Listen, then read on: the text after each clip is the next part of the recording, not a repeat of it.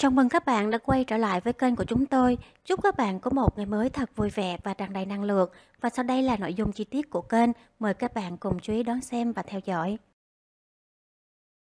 Cách làm từ thiện ngày càng minh bạch và khéo léo của Thủy Tiên Bên cạnh sự nghiệp thành công và hôn nhân viên mãn, Thủy Tiên còn được biết đến bởi tấm lòng nhân ái giàu tình yêu thương. Vợ chồng nữ ca sĩ tham gia tích cực các hoạt động thiện nguyện, giúp đỡ những mảnh đời khó khăn. Sau những ồn ào về việc kêu gọi, có thể thấy Thủy Tiên đã có cách làm khéo léo và minh bạch hơn. Cơn bão số 4 đi qua nhưng thiệt hại lại vẫn còn đó. Lúc này nhiều mạnh thường quân trên cả nước đã chung tay góp sức giúp đỡ bà con miền Trung vượt qua khó khăn. Thủy Tiên cũng sớm lên đường đến giúp đỡ người dân kiến thiết lại cuộc sống sau cơn bão.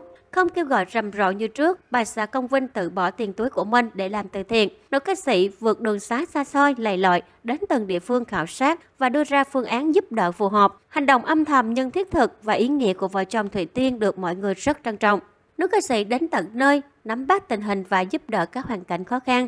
Vừa qua Thủy Tiên cũng đã có mặt tại Nghệ An, giọng ca ngôi nhà hạnh phúc kết hợp cùng lãnh đạo huyện Kỳ Sơn và hội chữ thập đỏ để chia sẻ khó khăn với bà con. Thay vì đưa tiền mặt, Thủy Tiên đã đến ngân hàng mọi sổ tiết kiệm dưới tên người dân và trao tận tay. Bên cạnh đó, lãnh đạo địa phương cũng ký biên bản ghi nhớ hỗ trợ làm nhà cho bà con.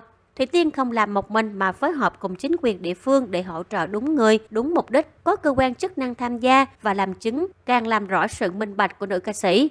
Thời gian cấp đất chuyển sang khu mới còn một vài tháng nữa. Do phải xin cấp đường và kéo điện nước nên Tiên thay vì trao tiền mặt đã đưa bà con ra ngân hàng làm sổ tiết kiệm để bà con an tâm tránh giữ tiền mặt trong người nguy hiểm. Vì giờ bà con không còn gì, vẫn đang đi ở tạm, cô ít lòng nhiêu mong bà con chân cứng đá mềm vượt qua giai đoạn khó khăn này, cô chia sẻ. Sổ tiết kiệm mở dưới tên bà con, Thủy Tiên trao tận tay từng bà con. Rất nhiều người chứng kiến hành động đẹp của bà xã Công Vinh ngay lập tức bài viết của cô nhận được sự quan tâm đặc biệt của khán giả, trong đó nhiều người ủng hộ cách làm khoa học thiết thực của cô. Song song với đó ở một diễn biến khác, cầu thủ Công Vinh lại đăng tải hàng loạt ảnh diêm của cô trong chuyến đi lần này. Theo đó, anh không cùng bà xã tham gia chuyến thiện nguyện này nhưng luôn dõi theo ủng hộ cô. Anh chia sẻ hình ảnh Thủy Tiên khó khăn vượt suối với những khoảnh khắc vô cùng khó đỡ. Đáng nói đến kèm hình ảnh anh chia sẻ dòng trạng thái Vợ tôi khi ở nhà hiền lành, nết na thùy mị lắm, còn khi ra ngoài đường thì tôi không biết. Hình ảnh của Thủy Tiên được công vinh đăng tải khiến nhiều người chú ý. Nữ ca sĩ khó khăn vượt qua dòng suối. Hình ảnh này của nữ ca sĩ khiến nhiều người vừa thấy thương vừa thấy thích thú.